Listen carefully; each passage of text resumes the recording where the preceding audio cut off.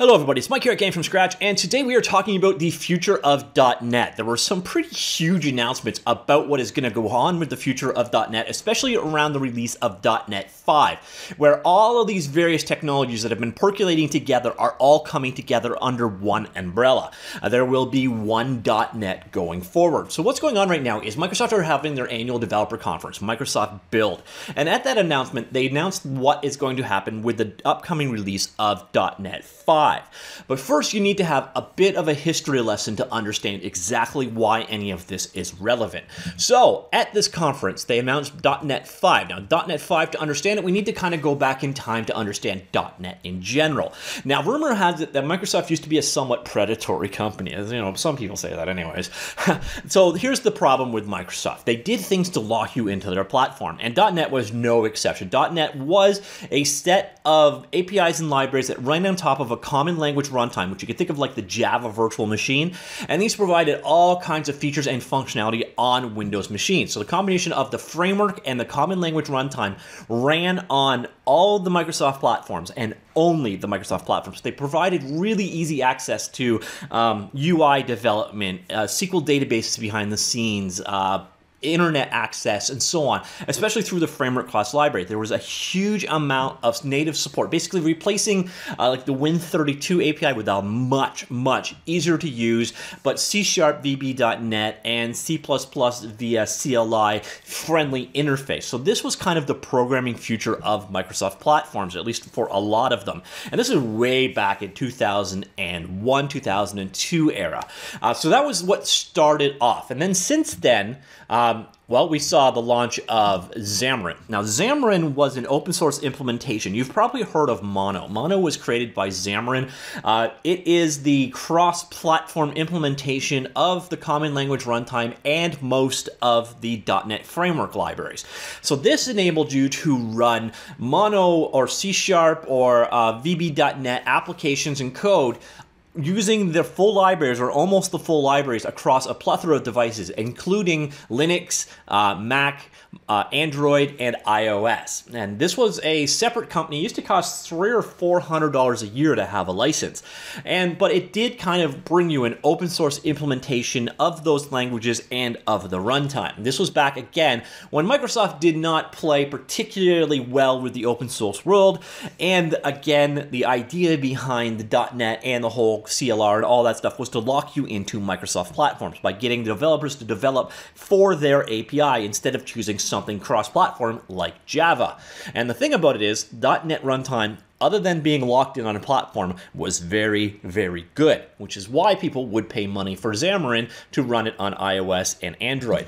So next up, Microsoft bought Xamarin. And so, okay, that is definitely development. And then shortly after that one, uh, Microsoft actually open sourced and released um, all of the Xamarin stuff completely free. So we are definitely moving right along in the evolution of .NET here. There is quite a bit of a different world than when it started. Now Microsoft is actually buying and shipping technology that makes writing code on uh, Linux, Android, and Mac easier. That's a little shocking. But that's what happened with the Xamarin purchase. And then, of course, they released it for free, uh, completely open sourced on GitHub. Now, at the same time, they were also working on something called .NET Core. Now, .NET Core was kind of a, a subset of .NET. So instead of being the full fat .NET framework, uh, they've shipped this .NET Core. Now the big thing about .NET Core is it was designed to run across all platforms, not just on Microsoft's platforms, and it was also a it, I think entirely open source from uh, the, the, very beginning to the very end under the MIT license.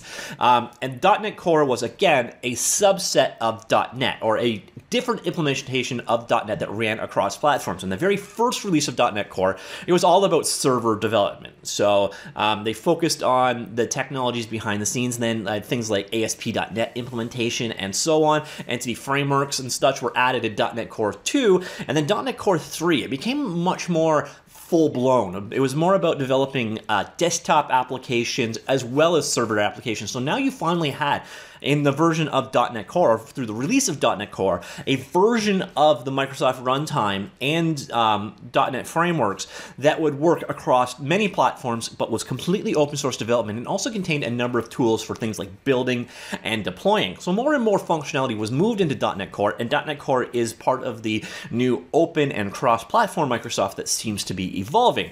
So at this point in time, we have the .NET framework, which is up to version 4.9. We have .NET Core, of which version 3 is being released kind of right now. And that leads us to .NET 5. So what is .NET 5 all about? Well, this is bringing it all together. So until now, uh, we've had .NET Framework and .NET Core kind of developing in parallel. With .NET Framework, at least aspects of it, such as Windows Forms, being only available still on Windows platforms, mostly for legacy reasons at this point, whereas .NET Core is obviously the future. Well, uh, .NET Core is far more than the future now, because you will see here, we are announcing that the next release after .NET Core 3.0 will be .NET 5. Now that numbering system doesn't make a whole lot of sense. Why is it going from 3 to 5? Well, they're taking the .NET Framework um, versioning system there, so 4.9 is the most recent version of the .NET Framework, and they're releasing it all as .NET 5. So essentially what this means is, as of .NET 5, there is only one .NET, and that's basically .NET Core. So along the way, there are little bits and pieces of uh, .NET framework that are going to become legacy items, things that are going to be no longer existing, and in those particular cases, they're going to want you to move over to different um, platforms or tools that they are providing. So there are a few things that traditional C Sharp and VB.NET application developers using the full .NET framework won't have support for. But what you will get in .NET Core coming to the 5.0, it will remain open source, cross-platform, uh, support leveraging uh, specific platform-specific capabilities such as Windows Forms and WPF on Windows, and native bindings to each platform from Xamarin. So basically, the Xamarin Form stuff is being merged in with the um, Windows Form stuff um, to make a cross-platform implementation. There it is going to be high-performance side-by-side installation, small project files, capable command line interface, which is a lot of what .NET Core brought to the equation, and it's going to work with Visual Studio, Visual Studio for Mac, and Visual Studio Code. Uh, however, there are uh, a, little gotchas here. So we see here, here is the schedule for bringing us to .NET 5. Uh, and really we only care about here because then we're going into .NET 6, 7, and 8, and that's all just wishful thinking at this point. So uh, .NET Core 3 is basically being released in July.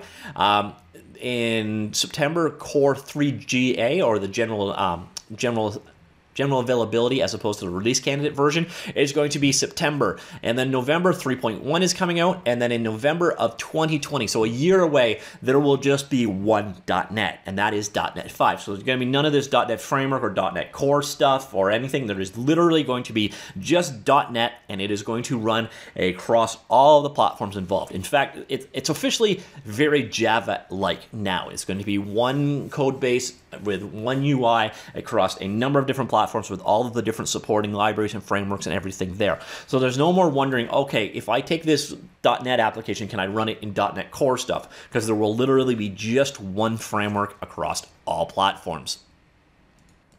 Now, if you're interested in learning a little bit more about the technical bits and bobs, things about the uh, ahead of time or the JIT comp compilation objects, uh, sorry, options in using uh, .NET Core going forward, where things are going to migrate, how things are going, uh, be sure to read this article. I will link it down below. Um, it's definitely an interesting development. I guess what you're going to see out of this is essentially .NET Core will go away. Um, you will see um, Mono go away. You will see uh, .NET go away. You will see Xamarin go away. And in their place, out of the ashes, is going to be one unified .NET 5. And then going forward, you will see .NET 5 developed in the open as a completely cross-platform project. So what this basically means is come November of 2020, there will no longer be a Xamarin. There will no longer be a .NET Core. There will no longer be a .NET Framework or a Common Language Runtime or any of these other things. There will be one entity, .NET 5. And that is it. .NET 5 will be completely open source and completely cross-platform and available both JIT and AOT if it makes sense on the platform. And I think this is pretty good, to be honest. I, I, I don't see a lot of negatives here, but then again, I am not really a Microsoft hater. Of the three major companies in tech right now, between Google, Apple, and Microsoft, in the last couple of years, frankly, Microsoft has been by far the least evil, in my humble opinion.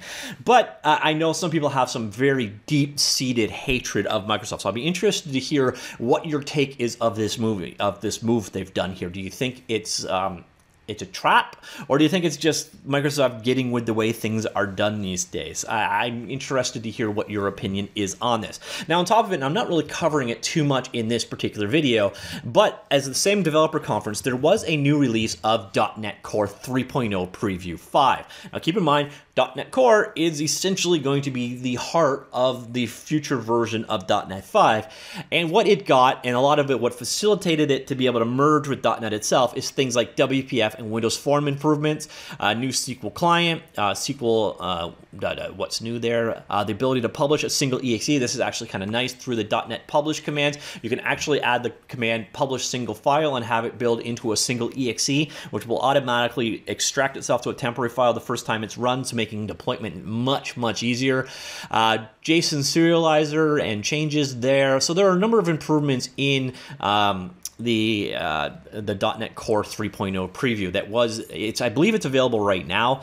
Uh, on top of this, kind of amazingly, Microsoft also announced that they are going to be shipping a Linux kernel in I believe the next version of Windows 10, uh, enabling Windows services or Windows functionality to run side by side in Windows much nicer.